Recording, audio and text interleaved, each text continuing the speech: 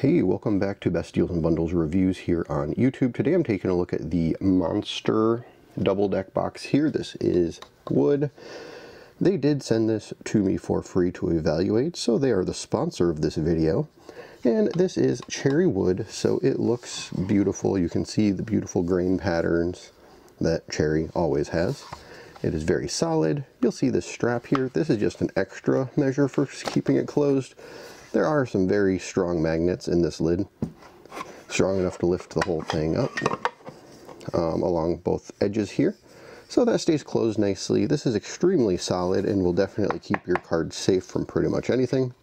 And I just have a couple of my favorite decks in here. Um, but yeah, overall, I love this uh, card box here. I'm very glad they sent this to me.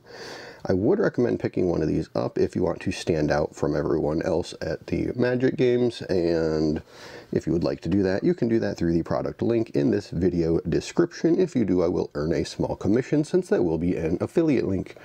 Again, thank you for watching and until next time you have an, a fantastic day.